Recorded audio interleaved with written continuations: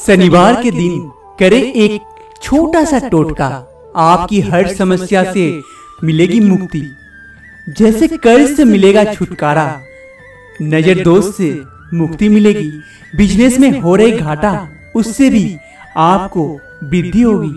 अगर आप परेशानियों से फंसे हैं इससे भी मुक्ति मिल सकती है। तो आइए जान लेते हैं ये टोटका क्या है जो हमारे सारे परेशानियों को दूर कर सकता है। नमस्कार दोस्तों, ज्ञान दर्शन चैनल में आप सबों का स्वागत है। दोस्तों, ज़्यादातर खाने में राई का इस्तेमाल होता है, क्योंकि ये जायका बढ़ाने का काम करती है। राई सेहत के लिए भी बहुत अच्छी, ज़रूरी होती है।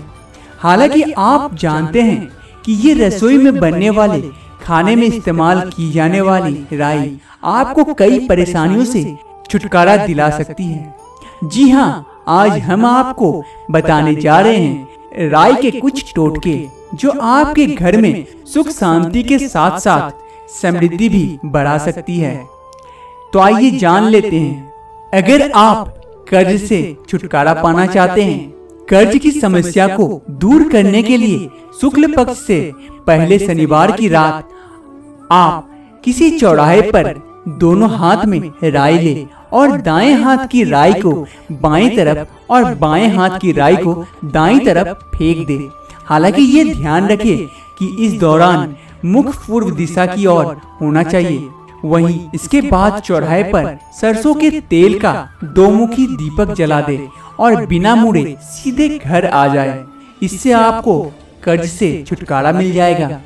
अगर आप नज़र दोष से परेशान हैं अगर आपके घर में कोई गंभीर बीमारी से पीड़ित है तो आप आम की लकड़ी की आग जलाएँ। इसके बाद सात राई के दाने सात लाल मिर्च साथ ही नमक की डली को बाएँ हाथ से पीड़ित के ऊपर से सात बार वार ले और इनको आग में डाल दे। जी हाँ क्योंकि ऐसा करने से बुरी नज़र का दोष जल्दी खत्म हो जाएगा। अगर आपको बिज़नेस में हो रहा है घाटा, अगर आपको बिज़नेस में नुकसान झेलना पड़ रहा है तो रविवार के दिन तीन अलग बर्तन में थोड़ी राई, काले तिल, साबुत धनिया, व्यापार स्थल या फिर दुकान में किसी जगह पर रख दे। ऐसा करने से मंद पड़ा व्यापार चलने लगेगा। साथ ही दुकान पर ग्राहकों की संख्या में वृद्धि होने लगेगी।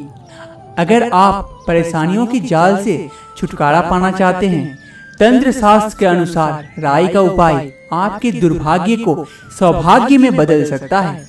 जब किस्मत साथ न दे, तब एक घड़े में पानी भरे, उसमें कुछ राई के पत्ते डाल दे। उसके बाद शनिवार के दिन उस जल से स्नान करें। ऐसा करने से आपका बुरा समय खत्म हो जाएगा। साथ ही दरिद्रता, रोग भी खत्म होगा। अगर आपका इन सब में से कोई भी परेशानी आपका पीछा नहीं छोड़ रही है तो आप इन उपायों को करें। आपकी परेशानी आपसे दूर भाग जाएगी और आपके अच्छे दिन शुरू हो जाएँगे।